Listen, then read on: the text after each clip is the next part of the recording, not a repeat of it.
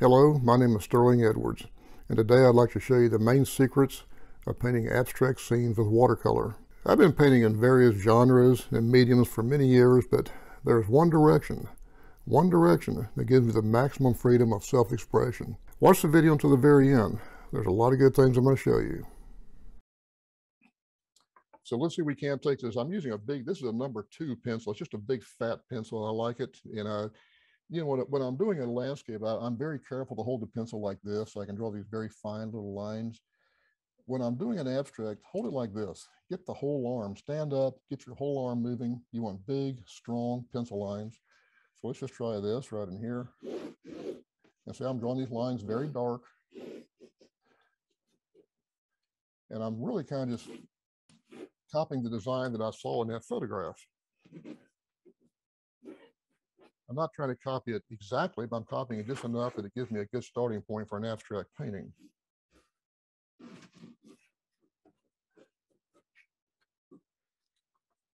Here's the center of interest right here. That's right there where the word one third would be right in this area. Now, what I'm going to show you next is kind of an interesting concept. I'm putting this photograph out of sight. I don't need it anymore. If I if I keep referring to that photograph, I will start trying to copy the colors in the photograph. Uh, that's not necessary to do an abstract painting. An abstract painting, all we're looking for is a design. I can paint this piece any color that I want. So I think what I'm gonna do on this, just to make sure it, that I don't get too close to the photograph, I'm gonna use some totally different colors than what I saw in the photograph. But what I wanna do is I wanna save a lot of white paper right where my center of interest is. So it, it, you need to decide early on, where is your center of interest? In this case, it's right here. So I'm gonna start using big brushes. I'm gonna tone down a lot of this, just, just kind of knock it down so it's not so white with color. And then I'll bet I'll save a lot of my white paper right where my center of interest is. Because when this piece is finished, I want the eye to go right there. The white paper will do that. All the pretty colors look nice, the shapes look nice, but that white paper will draw the viewer right to your center of interest. So let's see we can't get some color mixed up on my palette. I'm going to use some, uh, uh, like I said, I'm going to use some colors that are far different than what the photograph had. Uh, here I'm using some permanent yellow. I'm gonna put some uh, umber. This is just plain umber. I'm using a one inch flat nylon brush. I'm using this really just to mix the colors. So I got this nice, really wet, wet paint. Now, quite often in art books and on videos, people talk about doing a wet onto wet wash. A wet wash is this, it's paint that is so fluid if you run your finger through it, it does not leave a mark. It doesn't leave a track. In a few minutes, I'll show you what they call, traditionally they call dry paint. So here I've got umber and permanent yellow. Here I'm taking some more of this, this color and putting a, let's put a little bit of a cobalt blue in it. So it's going to gray it down considerably. So now I've got, this is a mix of umber, permanent yellow, and cobalt blue. And again, it's, it's very, very fluid. There's my finger test. So that's, that's almost a cool gray. This is a little bit warm. Let's see what else we can do. Let's get some violet. So I'm mixing up some nice, pretty violet down here. The, the violet will be a beautiful accent to these yellowish ochre colors I have over here. So see what I'm doing, I'm, I'm really just kind of mixing colors that I think will, will look well and work well together. I'm not getting too scientific about it because it's an abstract.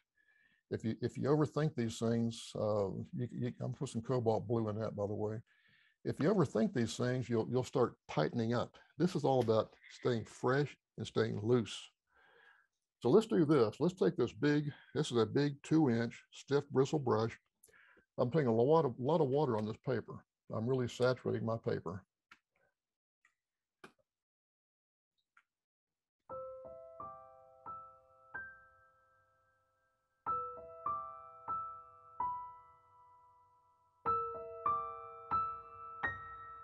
That's nice and wet. So let's take that same big, that same big stiff brush. Let's come in with some of this, this ochre color and just start putting some color on this paper. Now remember, I'm staying out of this area. I'm, I'm leaving that predominantly white. And see that bristle brush holds a lot of paint. I'm taking this, uh, here's that cobalt blue and umber. Look at the pretty brush strokes you get with a bristle brush. You just can't get those kind of strokes with a uh, with a soft brush because a soft brush traditionally does not hold that much water. These these brushes hold a lot of water. So I can get these nice, beautiful things happening.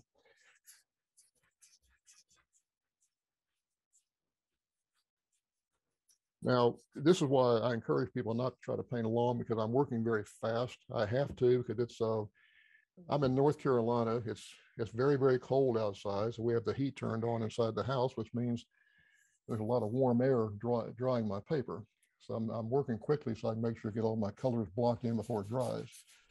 Abstract painting is one of the most challenging genres. To create a masterpiece, you need to develop your own style and feel the nuances of the depicted scene. To simplify your journey into the fascinating world of abstract painting, I'd like to invite you to a free workshop where I'll discuss all the nuances that will be useful for both beginners and those who are already improving their skills. Follow the link below in the description to learn more details. I'll see you there. Thank you. I'm putting some that color up in here. Now here's some that pretty uh, cobalt blue and violet. It's very gray.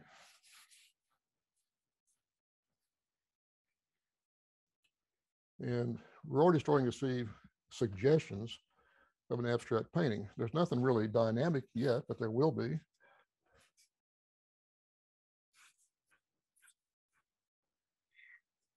And see, I'm not trying to stay inside the lines. The lines are there just to kind of give me an idea, but I'm not a slave to that. I'm not trying to stay inside this line and that line. This is all about just uh, just getting expressive colors on my paper.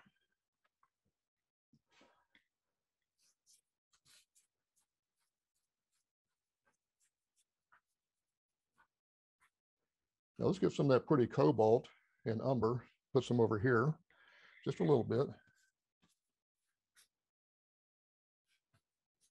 And see, now I can come in with a little bit heavier body paint. Now, if you look at my palette, I want to show you this. I'm taking some more of my cobalt and some more of my umber. But now if you look at this, you notice I can run my fingers through it and it leaves a track. That's because I'm getting most of the excess water out of my paint and out of my brush. So now I've got a thicker paint, which means anything I put down here now is going to stay pretty much where I put it. I, I can start doing some negative shapes, painting around a few things if I choose to.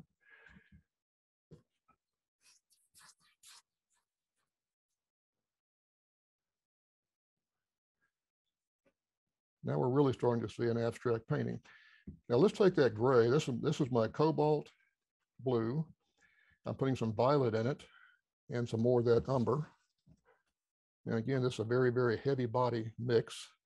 Very little water in my paint and very little water on my brush. Because now I'm gonna come in and see if I can't kind of go around some of these shapes like this. Leave, leave the brush strokes. People love the brush strokes. They want to see how that artist took that brush and did this and did that. They don't want it too refined. They want to look very uh, almost uh, almost chaotic because that's what gives it the abstraction aside from the shapes.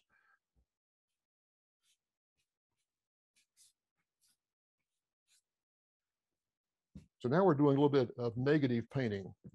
I'm taking some of the colors that I currently had. The paper is still pretty, pretty wet, but now I'm starting to come around with a heavier body paint and just put in little introductions of things that can be abstracted or part of my abstract design.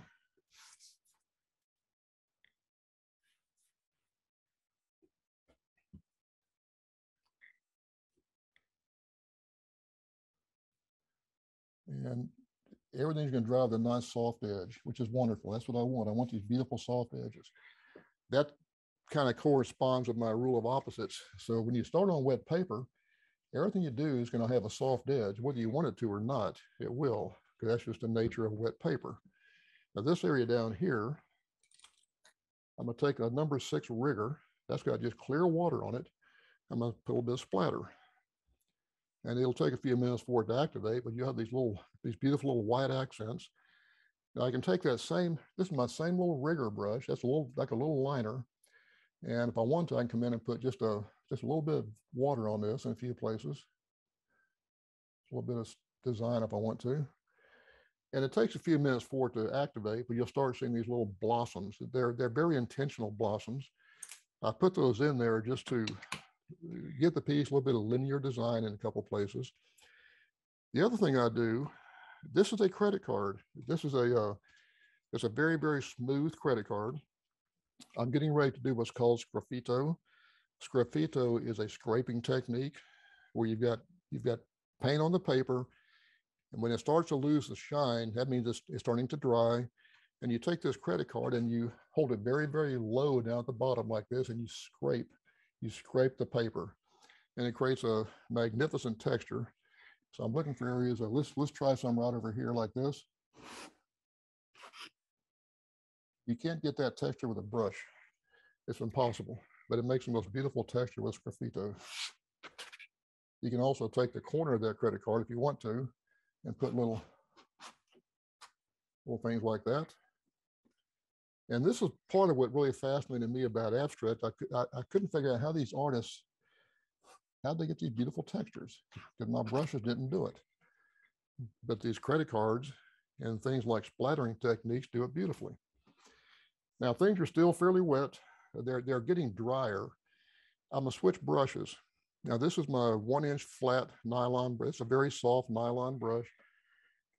Now I'm using a really, really heavy body of paint. In fact, I'm putting some Payne's gray in it to make it even darker. Because now in if I choose to put a really strong dark in this painting in a few places.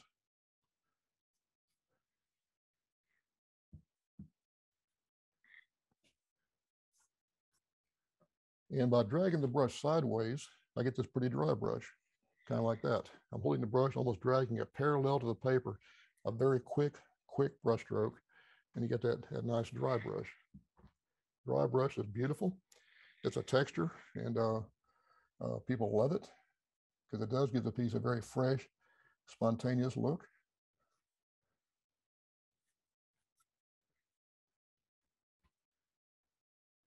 Now, in a few minutes, I'll stop and dry this. And when I do, I'll, uh, I'll be glad to entertain some questions. I'm sure there probably are some. But I'm going to keep putting a few more designs in here while this paper is still wet before I stop to dry it. There's no doubt in anybody's mind that's my center of interest. The eye just wants to go there. So let's see we can't put just a little bit of a little bit of color in here. Now, if you notice, I'm getting some dry brush. That means the paper is starting to dry. So I'm going to take another brush this is a little one inch flat bristle brush. I'm gonna use that just to soften, it's barely damp. Got these nice soft blended edges. So this is the, what I refer to is my block in. The block in means I've established my shapes, I've established my colors. I kind of know where things are going at this point.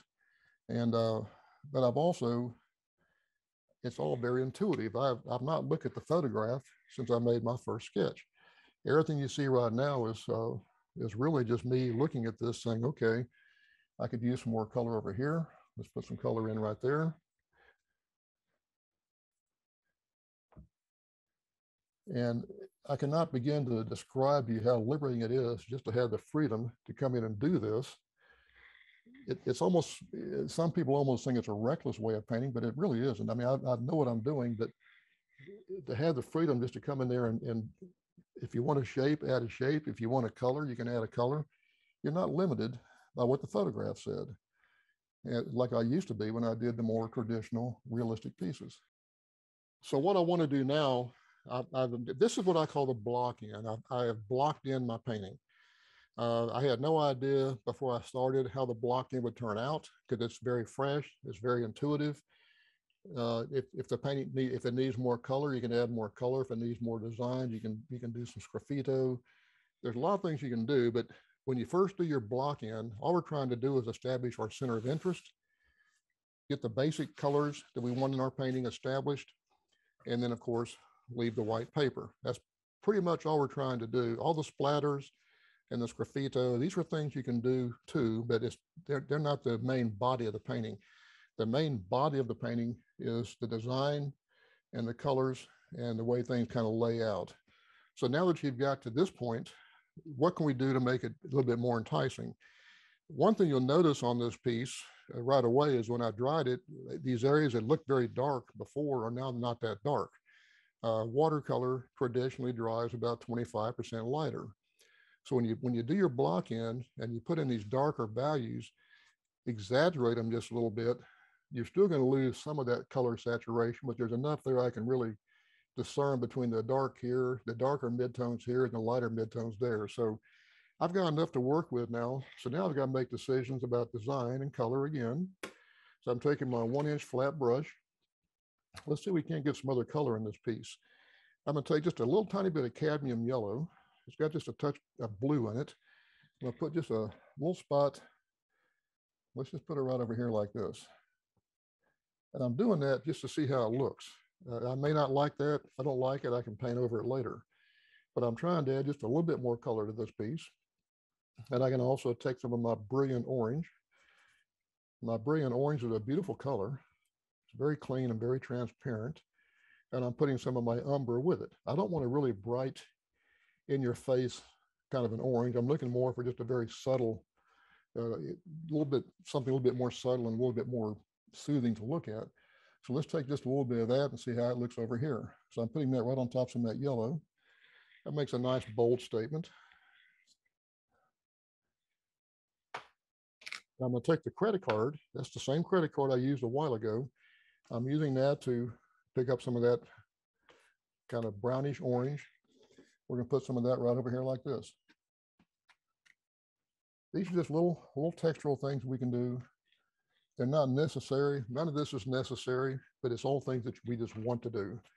Uh, and while I'm talking about necessary, let me just say this, uh, and I tell my students this, there's no right or wrong way to do an abstract painting.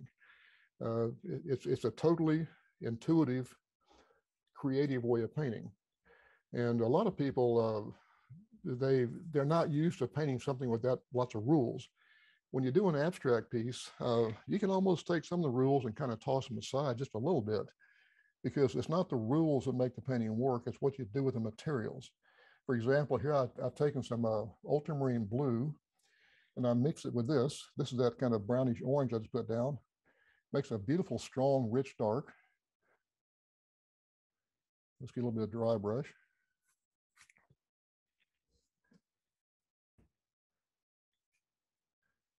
So now the piece has much more dynamics. You notice that dark next to that white makes that center of interest really pop. So let's keep doing some more of that. Let's put some of that over here. Very quick, very fresh, very spontaneous brush strokes. Uh, the faster you do the brush strokes, the, the fresher they are. And this is one thing that I personally love about it. I've got a house full of abstract art. They're not all my pieces. A lot of these are pieces we have we have gotten from other artists. And one of the first things that really attracts me is the spontaneity and the freshness of the work. So if you keep it fresh and spontaneous, uh, you're, you're nine tenths ahead of the crowd because a lot of people do these very contrived, very contrived abstracts, and that's not a bad thing to do, but you lose a lot of the freshness and a lot of the spontaneity if you start getting a little bit too uh, too contrived with it. Keep it fresh, keep it fresh, keep it simple, uh, keep lots of textures.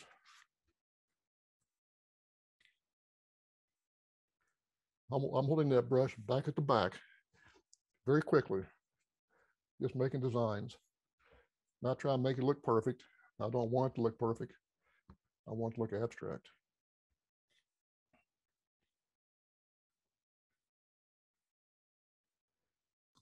Sterling, so many so many students uh, writing that they've never ever tried abstract paintings, and now they're so excited with your approach and technique and your energy and motivation. And um, yeah, thank you. It's amazing. Let me, let me thank you. I, I, I, appreciate the feedback because I will tell you this, and I've got to I've got to share this with everybody when I first first started doing abstracts, I was uh, I was met with a lot of resistance because for the last 30 years, people have seen me do these very fine, detailed, uh, very meticulous photographic style paintings.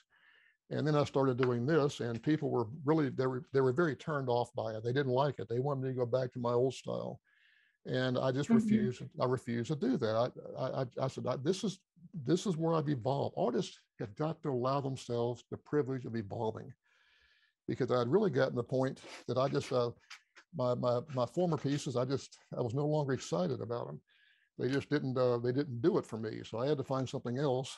And when I started learning how to do abstracts, I couldn't believe that the difference it made in the way my paintings look.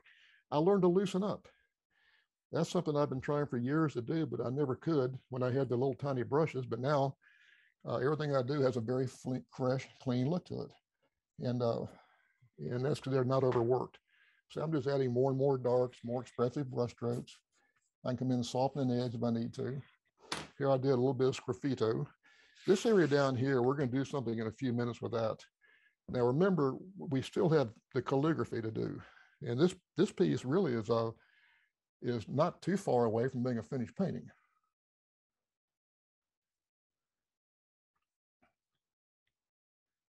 I'm gonna take my big brush again. That's, this is my big two inch bristle brush. Let's see, if we can't tone this down just a little bit. I'm taking some of this color on my palette. This is kind of a brownish gray. I'm gonna, I'm gonna come down here and tone this down. I'll put some water on it. Now, the reason I'm doing this is it's almost too, uh, it does not quite fit into the painting too well. But by doing this, now it does. I can also come in, tone that down a little bit. And here's a little secret for you that, that really works. I always frame my pieces with a white mat. And if you tone the edges down, for most of the painting, if you, if you put a little color along the edges, when you put the white mat on the piece, it just comes alive. So uh, I deliberately sometimes will take these areas that are white. Uh, for example, this, it's almost too white. Let's see, we can't tone that down a little bit. I'm putting just a little bit of light color on it. Then I come in and soften. It makes this area more dominant. So this was almost competing with this, but now your eye goes back up here. So I'm gonna put a few more darks on this, and then I'm going to do the calligraphy. And then I'm gonna show you a neat little trick at the very end. It's a little, little trick of the, of the trade. So here I'm taking my Payne's Gray. I'm using this one inch nylon flat brush. I got my Payne's Gray. I'm putting a little bit more dark in a few areas. I, I'm really thrilled that some of you are uh, getting charged up about this because it's uh, this this was a real real eye opener for me when I started branching out. And uh, I will tell you this, and I'm I'm very serious about this. When you start doing this, it's very very hard to go back to the old style of painting because this is so alluring and so much fun and it's so liberating. It's, it's kind of hard to go back to the little small brushes again.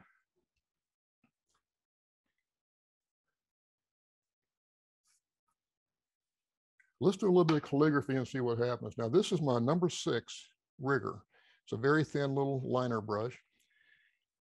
I've got this dark mix. I've taken uh, some of my violet and some of my Payne's gray. I've got this very, very rich, dark mix with my rigger. I'm holding it way back at the back. I want the whole arm. Don't just plop your hand down and go like that. Stand up, get the whole arm going. I want big, bold, fresh brush strokes. And I'm gonna just make some just calligraphic design. Uh, there's a lot of angles in this piece. Let's get some nice movement.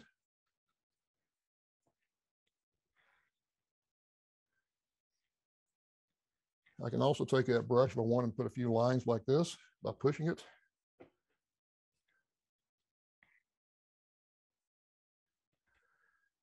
So now the piece is really getting much more abstract.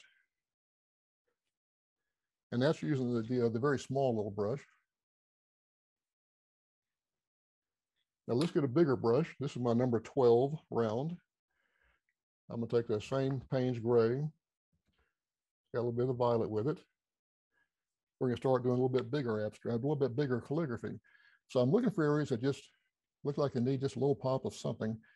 I'm not trying to get too methodical. Uh, the last thing I want to do is get too tight with it. I'm just looking for areas where I can just put in just a nice, strong, rich accent design. And if you want to, you can also take that rigger brush and take some of these colors you have, excuse me, and do some design with those as well, like this. It's very subtle. But it just gives a piece a lot of strength. Now, the last thing I want to do on this, I'm gonna splatter. I've, I've got that rigger brush. I've got this nice, really fluid, wet, dark. I'm gonna hold the brush at the very back and I'm gonna tap it and put some splatter right where my center of interest is. Splatter is beautiful. It gives the painting a very fresh, loose, spontaneous look. What people love to see the artist took that brush and just splattered. Now, a lot of people will take the brush and they'll do this on their finger. The, the problem with that is it goes everywhere. If you'll hold the brush back at the back and just tap it, it works beautifully. And you have total control where it goes for the most part. It's, it's going to depend a lot on how floppy your brush is, but this, this brush is pretty, pretty floppy. So this piece right now, at this stage, is a finished piece of abstract expressionism. And uh, it, you know, people will look at this, they will look at this and they will see things in this painting. There's nothing there, but they will see things. They do all the time. I have people come to my home and they they look at my big abstracts and they say, I see a I see a harbor with a bunch of boats. Well, that's if they see that, that's fine. That's not what it is, but that's the beauty of abstract. The viewer completes the painting. You're just giving the viewer all this inspiration, colors, shapes, textures. However they interpret that, that's what their mind tells them it is. Now, if you paint a very realistic flower, for example, and you look at that, everybody sees the same thing. Everybody sees that same beautifully rendered, realistic flower. A piece like this, you'll have 10 different people look at this and they'll find 10 different things inside this painting. And what happens is quite often they will they will start relating to what they see. And all of a sudden they just uh they just have to have that piece. It just, you know, they they identify with it and they can they can pretty much figure out what it is and they know where the artist was going with it. And uh at that point you've you've got a you've got a future customer because they they like what they see. Now I'm going to show you something kind of different. This is something you would never do with a landscape. I'm going to turn this upside down. Excuse me, we're going to look at it from the other angle. Because before you sign a piece, always turn it around, look at it from every different angle. You might like it better upside down from, from the way you painted it. And I've got pieces right now in galleries, they're upside down from the way I painted them. So let's turn it like this, first of all. If you, if you know, it's, it's a whole different painting now, but I want to turn it like this. See, now it's upside down. And if you look at that, it's not, uh, it's the same, same piece, same colors, same textures, same composition, but now the center of interest, instead of being up here, is down here. Look how beautiful that white is with that nice, pretty rich dark around it. And everything else is just colors, calligraphy, sgraffito, dry brush, and the rule of opposites. Here's the rule of opposites. You got very light, you got very dark. You got warm colors, you got cool colors. You got soft edges, you got hard edges. You got sgraffito, which gives you a nice light impression on dark. And you've got calligraphy, which gives you a very dark impression on light. So the rule of opposites is fully at work in this painting. And I like it better like this. Uh, for some reason, uh, when I look at a piece, I've got to make a decision before I sign it. How do I like that painting? I like it like this. I think this has a very interesting movement. Uh, I could always sit there and pick at this, but it's not really necessary to do that. So I'm going to take my number four. That's my little number four round brush. I've got this nice dark mix that I use for some of this calligraphy. I'm going to sign this piece right here. That's a nice dry area. And I'm going to sign it with a brush.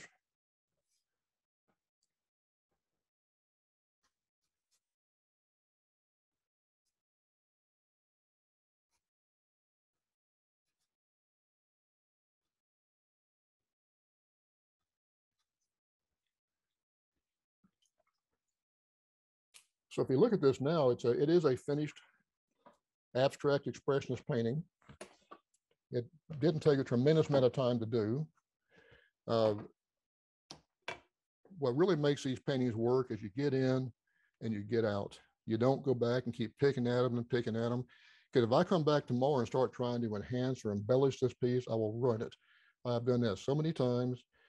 And I finally learned that once I sign that piece, it's finished. I'm not going to touch it again. Now I'm to lay a mat on this very quickly. So give me one second. I want you to see how this looks when it's got a, a white mat.